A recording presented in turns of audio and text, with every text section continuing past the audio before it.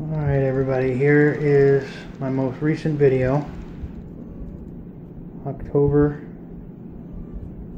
8th, 2015. I know it's been a while, but I should be working on my four foot track.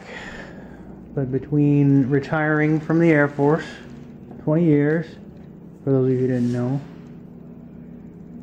uh, moving, we had the school project to do. I built, I know it's sloppy, but it's alright.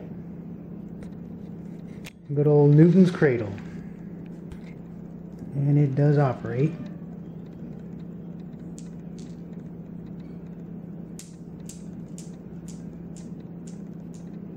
Not wonderful, but it works.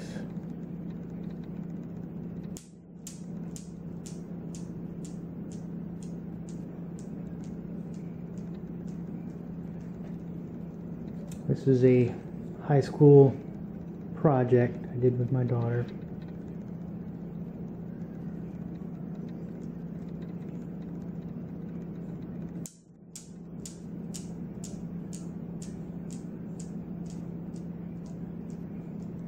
Use fishing line, hooks, of course zip strips, shrink tube.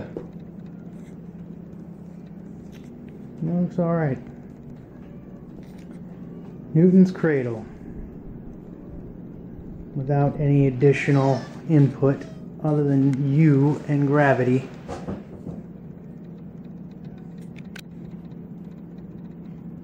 There's the about as straight as I can get it. Pretty even.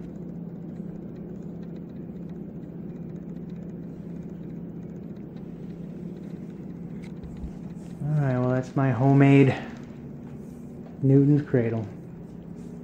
Thanks for watching.